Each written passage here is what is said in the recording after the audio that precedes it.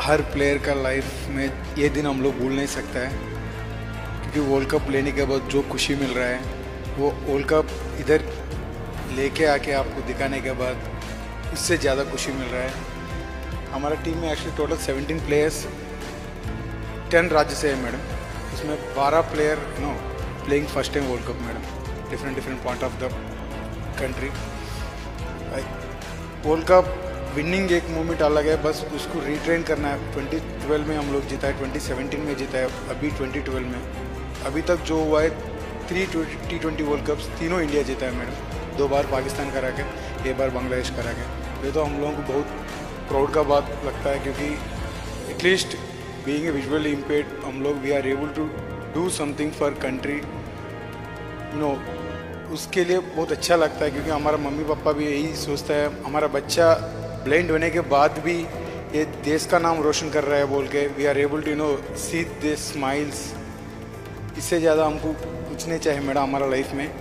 But ऐसा situation हमको provide किया, इतना बच्चा इतना अच्छा प्लेटफॉर्म लोग प्रोवाइड किया कि अभी को बिहाफ ऑफ़ प्लेयर्स हम लोग धन्यवाद बोलना चाहता है। समर्थ ऑर्गेनाइजेशन और ऑर्गेनाइजेशन के सेक्रेटरी को धन्यवाद देना चाहती हूँ।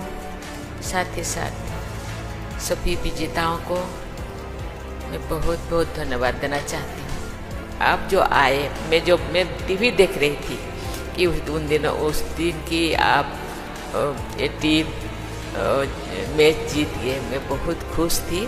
आज केवल आपके पिता माता नहीं पूरा देश आप पे गर्व करता है।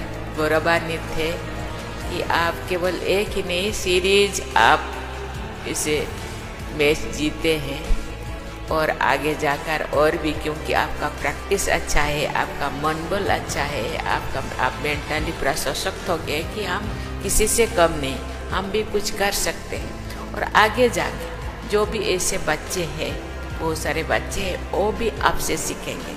आप खेल कूद में आए और अपने आप को सशक्त बनाए और आप यहाँ तो पूरा वर्ल्ड में फ़ेमस हो गए। मुझे बहुत खुशी है कि आप आगे भी, क्योंकि आप अभी यंग है, और भी बहुत सारा वर्ल्ड कप आप खेल पाएँगे, और अभी अपना जो प्रैक्टिस जारी रखिए।